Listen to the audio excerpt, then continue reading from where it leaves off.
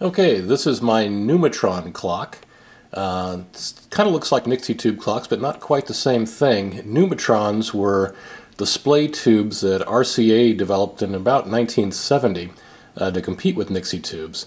They're actually seven segment displays, but the interesting thing is the segments are incandescent and they're also made to last a really long time.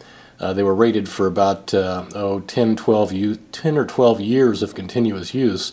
And on this particular one, I've uh, fiddled with the voltage and current, and it should last a bit longer than that.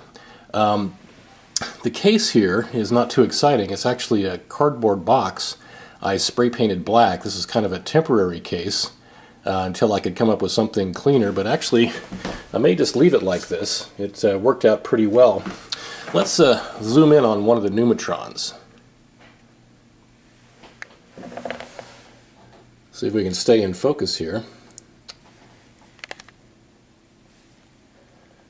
Okay, I guess as far as I can go. But you can see clearly the, um, the incandescent uh, segments. All right, well, let's take a quick look inside.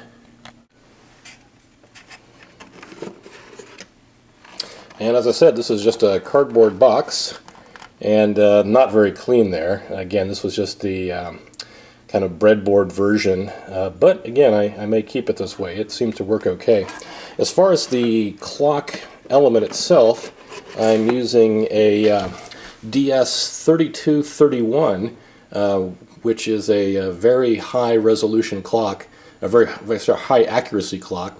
It's uh, actually a pretty standard uh, real-time clock, except it's got a temperature control, uh, temperature sensor, so it uh, will will kind of make corrections uh, for the crystal based on temperature. And it's only supposed to lose a, a few seconds or, or, be accurate within a few seconds a year. Anyway, uh, that's my Numitron clock.